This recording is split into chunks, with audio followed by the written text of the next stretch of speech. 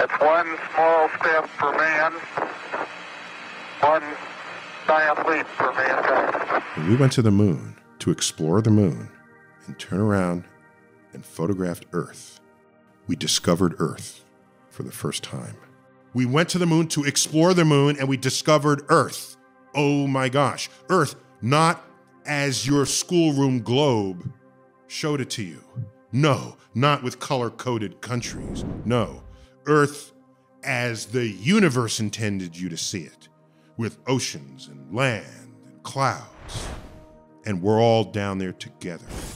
It is the greatest of the gifts of the cosmic perspective that we have ever received. Our beloved planet is just one tiny speck in the vast universe. Earth is the third planet from the Sun and the only astronomical object known to harbor life.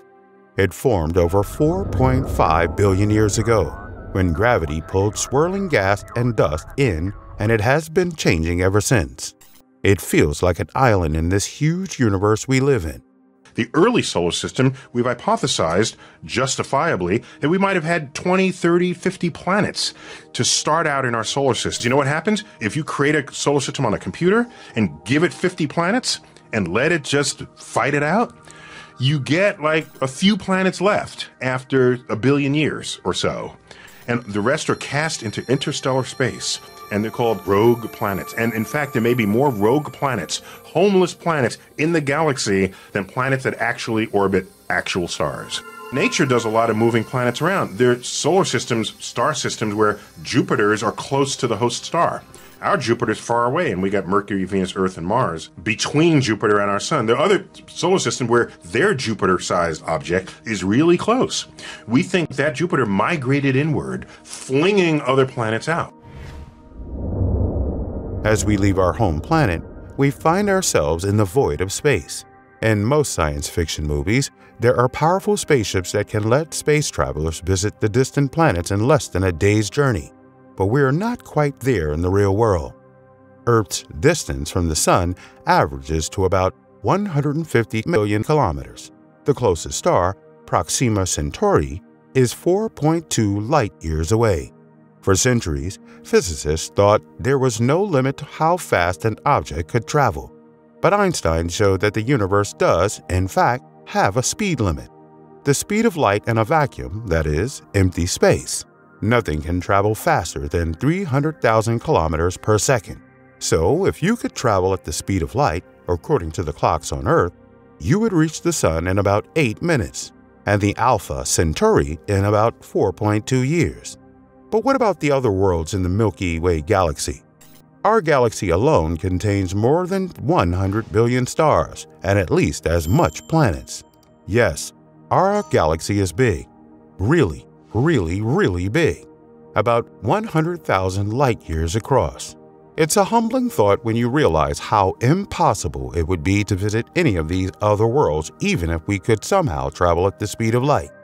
And that's just the Milky Way galaxy, one among billions of galaxies in the universe. Our view of the universe is literally getting bigger all the time. As the universe ages, light from more distant places has the time to get to us.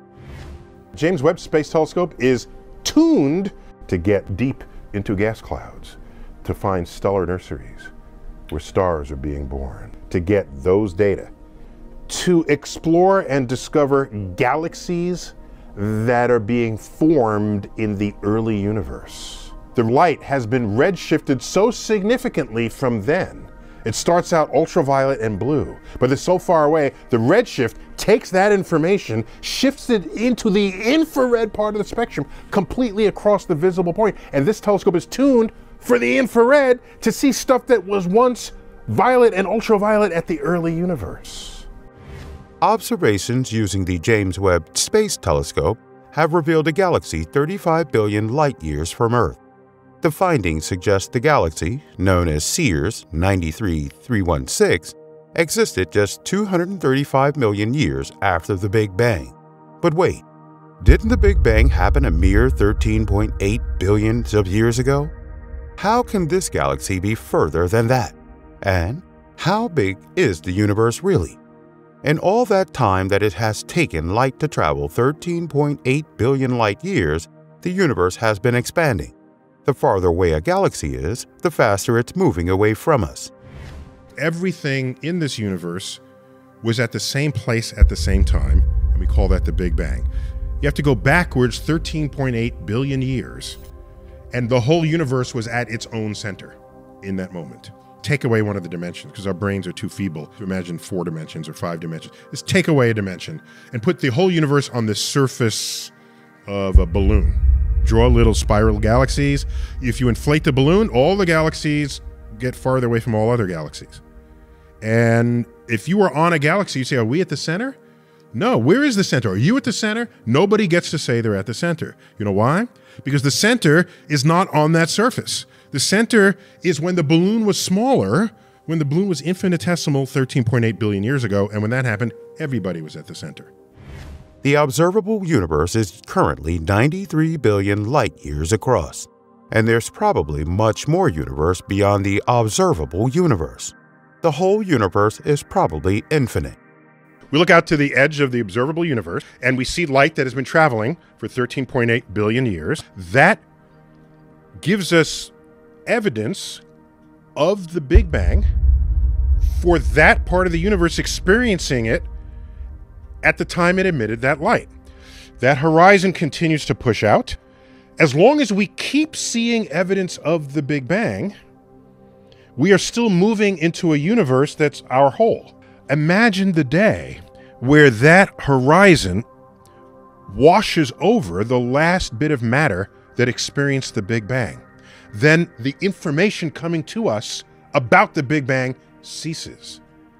And all of what we know of cosmology would have no data set at that point. And at that point, you're basically the moving horizon, which gets one light year away from us per year at that speed, would have overtaken the last matter of the universe, and that would be the edge of the universe.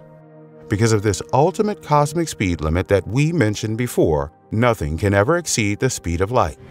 Well, the laws of physics constrain any speed of any spacecraft traveling through space to be less than the speed of light. So if you're not going to play games with imagining that we can actually warp the fabric of space, then I mean, achieving great space travel is challenging. Now, the weird thing is, because time slows down when you have a spacecraft or a clock of any sort that's in motion, you could have a spacecraft going out near the speed of light and we on Earth would watch its clock, and its clock would be ticking off time so slowly that to the person on the ship, they would be able to go much further than we would think they would be able to if we didn't take that into account. So, you know, we could send, you know, some intrepid Voyager out into space, and they could go arbitrarily far in their lifetime, and we on Earth perhaps would be long extinct.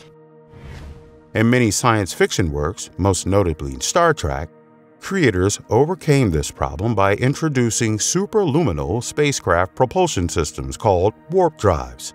It worked by generating warp fields to form a subspace bubble that enveloped the starship, distorting the local space-time continuum and moving the starship at velocities that could greatly exceed the speed of light.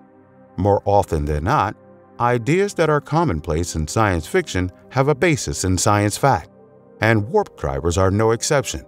This concept in physics is known as the Alcubierre warp drive.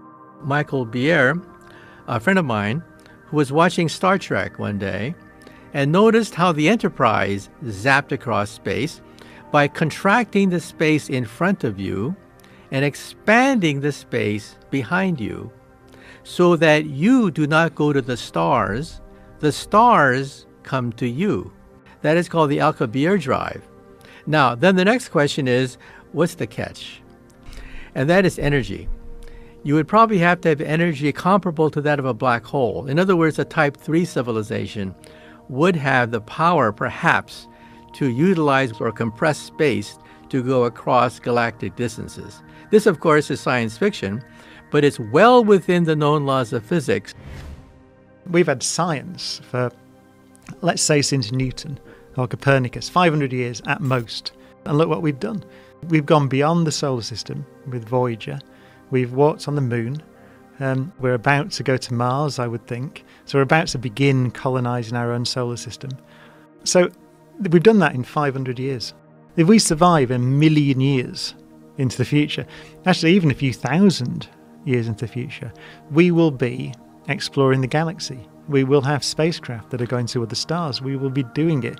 So our signature will become visible, I'm sure, if we last